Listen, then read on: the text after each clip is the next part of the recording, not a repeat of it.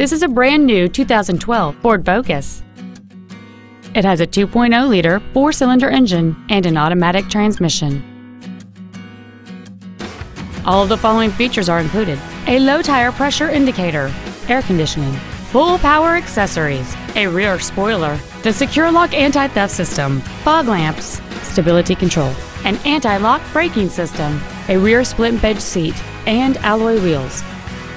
With an EPA estimated rating of 36 miles per gallon on the highway, this vehicle is clearly a fuel-efficient choice. Contact us today and schedule your opportunity to see this vehicle in person.